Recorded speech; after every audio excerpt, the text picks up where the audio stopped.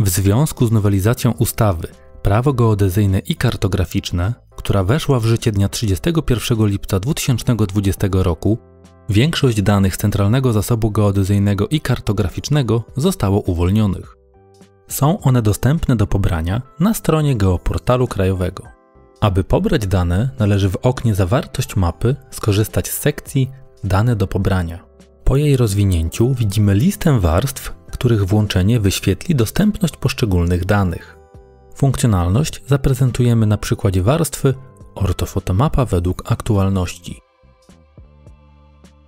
W celu pobrania konkretnego pliku z danymi należy powiększyć mapę do skali, w której będzie widoczny podział na arkusze, czyli co najmniej 1 do 250 tysięcy.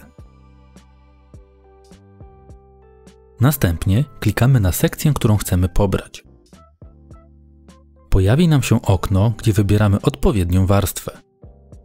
W naszym przypadku będzie to WMS ortofotomapa według aktualności.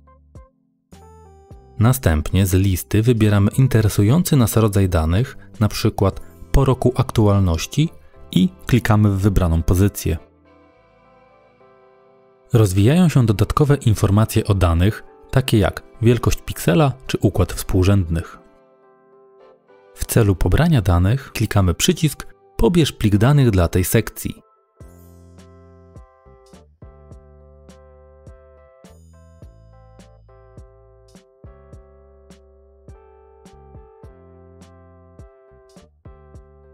Pobrany plik możemy otworzyć w dowolnym oprogramowaniu, co znacznie zwiększa możliwości wykorzystania i ewentualnego przetworzenia danych według naszych potrzeb.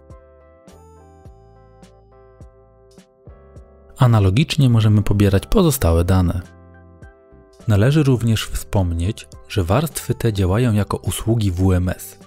Zatem możemy je zaimplementować w zewnętrznych rozwiązaniach informatycznych lub uruchomić w oprogramowaniu GIS-owym obsługującym ten standard.